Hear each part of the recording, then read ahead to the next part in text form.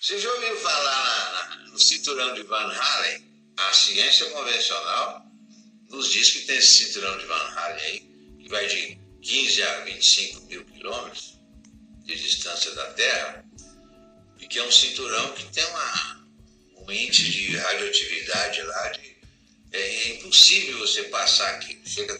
Sim, existe de fato o cinturão de Van Allen.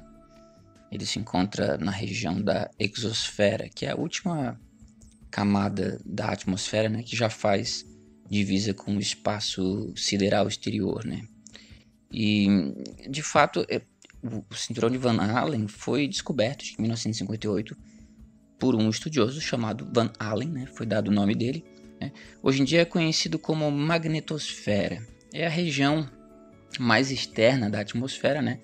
Aonde acontecem as questões de campos magnéticos, campos elétricos, né? O campo eletromagnético do planeta, vamos dizer assim, né? Se encontra nessa região. Hoje chama-se magnetosfera. É aquela imagem que vocês estão vendo ali do, ao lado do do como é que é de José Márcio, né? E infelizmente parece que José Márcio é, é um terraplanista. Acho que eu estava enganado, eu achei que ele estava sendo irônico. Ele parece ser irônico muitas vezes, mas tô começando a crer que ele é um crente na teoria da Terra plana. Bom, ele disse ali que a radiação é impossível de você ultrapassar, e não é. A, radiação eh, que se encontra no cinturão de Van Allen, ela não é tão alta desta forma como dizem por aí, né? E ela foi, ela foi uma das primeiras coisas descobertas logo que lançaram o primeiro satélite na história dos Estados Unidos. O Explorer 1, né, quando foi lançado, né, eles fizeram testes naquela região e uma das primeiras grandes descobertas feitas por lançamento de satélite é, foi justamente a radiação encontrada nessa região denominada de cinturão de Van Allen. Mas assim, é, é ou seja, foi uma das primeiras coisas descobertas. Os caras eles estão há décadas estudando o cinturão de Van Allen, inclusive agora, recentemente, enviaram mais duas sondas gêmeas para estudar melhor ainda essa região. O fato é que o tipo de radiação que existe nessa região, ela não é que nem a radiação, por exemplo, de um de aquele equipamento que a gente entra dentro para fazer é, radiografia da cabeça e tal, né? Como é que é mesmo o nome disso? Ah, eu não lembro é, onde você precisa de camadas e camadas de chumbo, né? para evitar a radiação, né? A radiação que se encontra na, no cinturão de Van Allen é um outro tipo de radiação que apenas uma folha de, de, de alumínio já é suficiente para conter o, o avanço dessa radiação.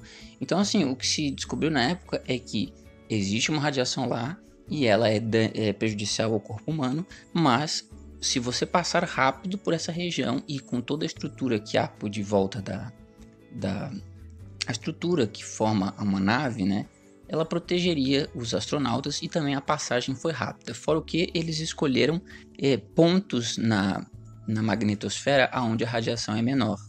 Inclusive na região dos polos ela é bem inferior a do que é na região equatorial.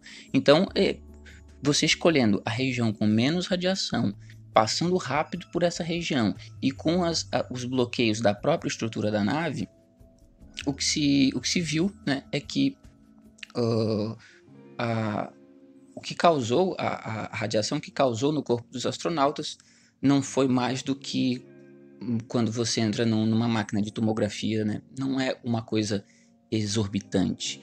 Eles passaram por essa região e é claro que se você ficar na, nessa região durante semanas ali parado, né, vai acabar tendo problemas. Mas a velocidade que eles passaram, que foram minutos passando por essa região, encontrando as regiões com menos densidade, né, é, foi possível sim passar por essa região, não é um grande mistério. É, tem vários vídeos na internet hum, que mostram é, como que se dá essa região, como que é possível de passar por ela, não é o fim do mundo. E, eu, inclusive, o José, José Márcio, ele diz aqui, olha só. Temperatura de 5 mil graus, esses minérios, esses materiais todos, eles se fundem a 500 graus, 1000 graus, 1500 graus, por aí. Ninguém consegue fazer um equipamento que, que resista a uma temperatura de até 5 mil graus. Isso daí é um erro já bem. Já é um erro que os terraplanistas voltam a alegar sempre, né? As altas temperaturas da termosfera e da, da magnetosfera, que vão a 3 mil graus, por exemplo, é, e aí afirmam que uma, uma temperatura de 3 mil graus ia tostar os, os astronautas, ia tostar as naves, ia tostar os satélites, né? Tudo iria virar churrasquinho naquela região, porque as temperaturas são de 3 mil graus. Só que é óbvio que, ai meu Deus, todo mundo sabe já que, apesar de ser de 3 mil graus a termosfera, a, a, o ar lá é extremamente rarefeito, né?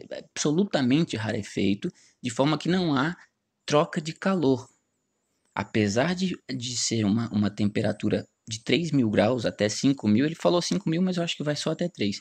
3 mil graus, apesar dessa temperatura altíssima, não há troca de calor entre os corpos, porque não há é, matéria, um, não tem ar, o ar é extremamente rarefeito e não há como haver troca de calor.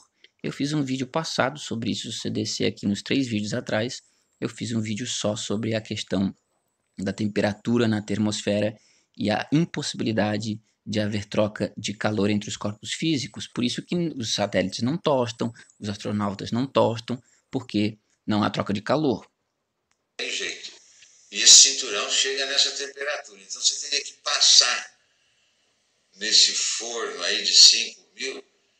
Já testado e entregue, o satélite está pronto para entrar em órbita. Agora vai ser preparado para seguir viagem. Será transportado à Guiana Francesa. Vocês viram?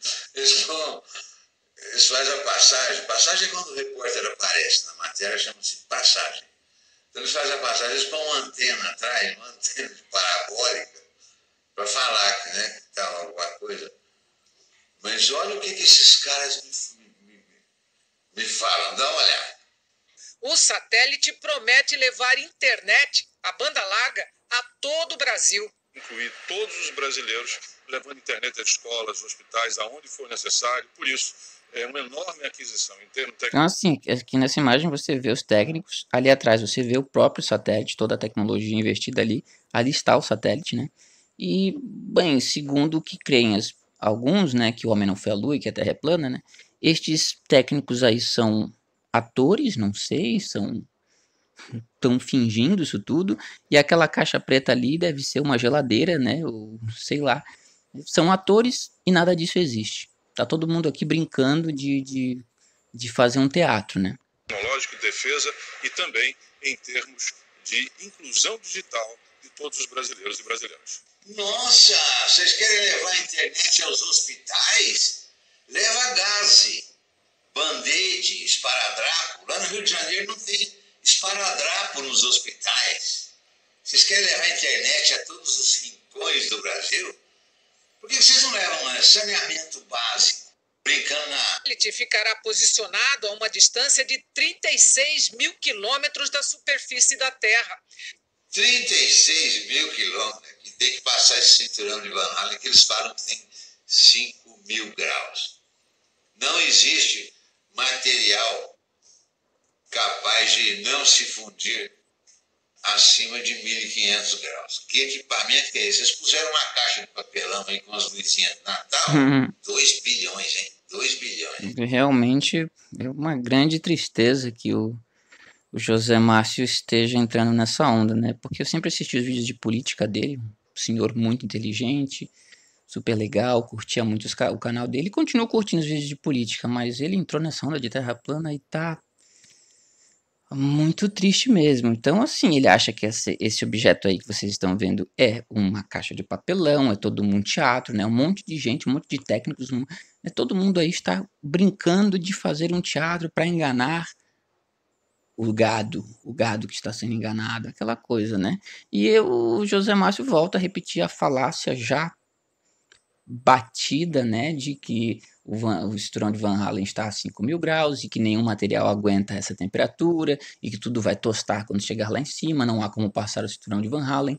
Uma grande falácia que ele está, é, segundo eu creio, reproduzindo as falácias do, do, do Afonso, do Ciência de Mentira. Ele está reproduzindo, porque foi isso que o Afonso falou, que que os, os materiais que nós conhecemos, eles se fundem a, a mil graus e lá é a três mil graus, então nenhum material conseguiria resistir às temperaturas da termosfera, né? Só que é óbvio que é uma grande falácia, porque a, o ar rarefeito naquela região não possibilita troca de calor entre corpos físicos, por isso que nada tosta naquela região. E, essa desgraça aí, como é que vai empurrar isso aí lá pra cima? 36 mil quilômetros. Mas pra quê? Pra que isso? Hã? Internet? Internet é cabo submarino e torre. Uhum. Essas coisas não. 13 mil satélites tem. Nunca caiu nenhum, nunca deu defeito. Cai sim, cai, cai bastante. Inclusive é um problema sério de lixo espacial. Eu já fiz até vídeo sobre lixo espacial que cai e é bem comum. E, bom, agora eu vou, eu vou encerrar esse vídeo aqui é, lançando para vocês a, a, a, maior incoerência de todas, a grande incoerência é, desse, desse pessoal aí, que é o seguinte: nenhum terraplanista vai negar a existência do cinturão de Van Allen. De Van Allen. Inclusive, eles, eles utilizam o cinturão de Van Allen como um, um argumento para dizer que o homem não foi à Lua, né? O homem não foi à Lua por quê? Porque é impossível ultrapassar o cinturão de Van Allen. Os terraplanistas eles se regozijam uh, ao afirmar a existência do cinturão de Van Allen, porque o cinturão de Van Allen dá subsídios para eles alegarem que o homem nunca foi à Lua. Então todo terraplanista crê na existência factual do cinturão de Van Allen. Só que aí é que tá, como que o cinturão de Van Allen foi descoberto? Ele foi descoberto pela sonda Explorer 1, um satélite, o primeiro satélite enviado pelos Estados Unidos, que fez as medições necessárias na época para constatar a radiação, a temperatura e a existência do cinturão de Van Allen. Então, assim, nenhum, nenhum terraplanista nega a existência do cinturão de Van Allen. Eles não negam. Eles sabem que existe, eles afirmam a existência. Mas eles negam a existência de satélites. A atual teoria dos terraplanistas é que satélites, na verdade, são é, objetos que estão planeando na estratosfera uh, pendurados por balões, que não há uh, satélites em órbita. Essa é a teoria aceita atualmente dos terraplanistas para explicar os satélites. Não existem satélites em órbitas. Os satélites eles são pendurados por balões na região da estratosfera. Então é, é aí que está a incoerência, tá vendo? Eles afirmam a existência da, do cinturão de Van Allen e negam a, a, a existência de, de satélites em órbita. Só que o cinturão de Van Allen foi descoberto e medido suas propriedades pelo Explorer 1, que foi o, o primeiro satélite enviado uh, pelos Estados Unidos. Vocês conseguem compreender que eu, o argumento deles anula a si próprio, né? É uma, é uma falácia e é uma grande incoerência. Bom, eu vou me despedindo aqui. Um grande abraço, guerreiros. Até o próximo vídeo.